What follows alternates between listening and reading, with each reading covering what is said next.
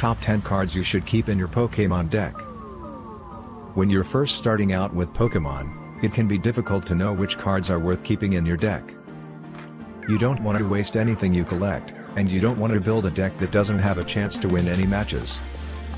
Playing a variety of different cards allows you to build a deck that has a fair chance of winning all the matches it takes part in.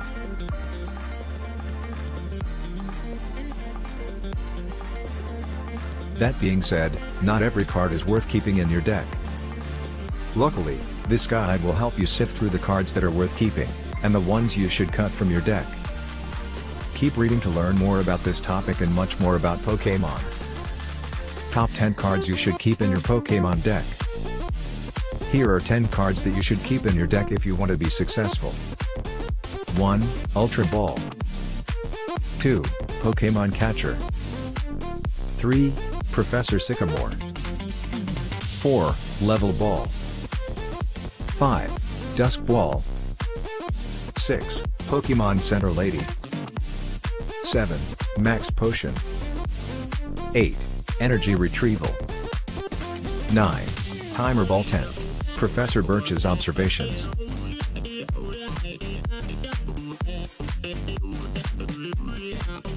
When you're first starting out with Pokemon, it can be difficult to know which cards are worth keeping in your deck.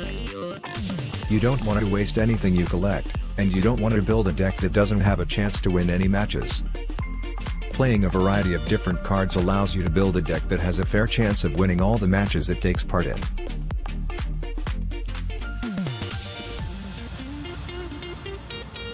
That being said, not every card is worth keeping in your deck. Luckily, this guide will help you sift through the cards that are worth keeping, and the ones you should cut from your deck.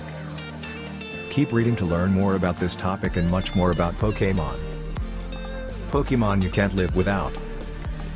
There are a number of cards that you can't live without if you want to be successful with Pokemon. These are the cards you should always try to keep in your deck.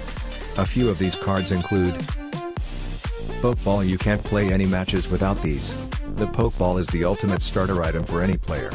They allow you to capture and store Pokemon, and they're used in every match. Ultra Ball an upgrade to the Pokeball, this card has more chance of capturing a Pokemon than the Pokeball does.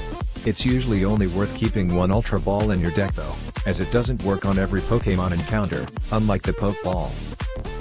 Switch this card is great for switching out an opponent's active Pokemon for a new one, or switching out yours if something bad happens to your current Pokemon. It's not always easy to get back out of a tough situation once it occurs, so having Switch will give you back some control over those matches where things start going south quickly.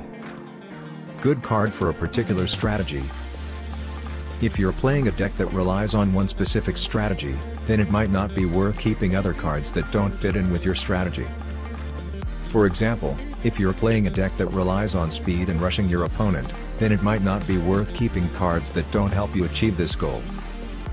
Keep in mind before you decide to cut anything.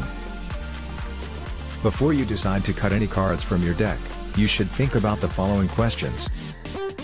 What is the point of this card? What is its effect on my deck? How often will I use this card?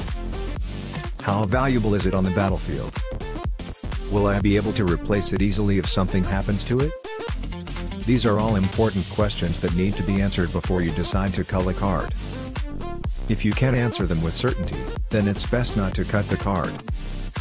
In most cases, the cards that should be cut are ones that have little value and don't do much for your deck.